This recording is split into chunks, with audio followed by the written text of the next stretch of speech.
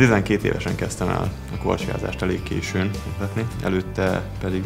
számos különböző sportágat is kipróbáltam, úszással kezdtem, tollaslabda, fallabda, pingpong volt minden. Téli sportágak voltak azok, amik, amik igazán megtetszettek. Én nagyon szerettem mindig a hegyekbe járni, sielni, szerettem a hideget, és uh, voltak nekünk az iskolában ilyen korcsiás foglalkozások,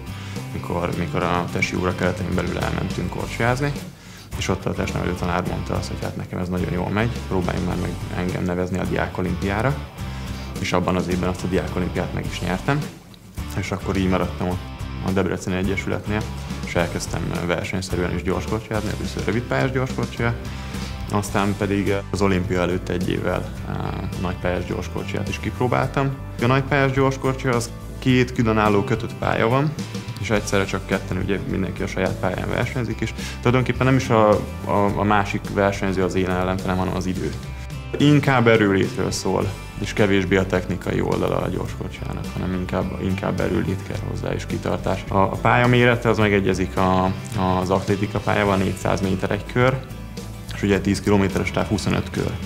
Ez 15 perc, 13-15 perc, ugye ki, kimen erőlétből olyan gyerekeknek tudnám ajánlani, akik, akik tele vannak energiával, érzik magban a, az erőt és a kitartást, akik szeretik a sebességet, ugye a, a, jégen 60, 65 km per órával száguldozunk, két vékony éves megint, úgyhogy, úgyhogy az mindenképpen kell hozzá.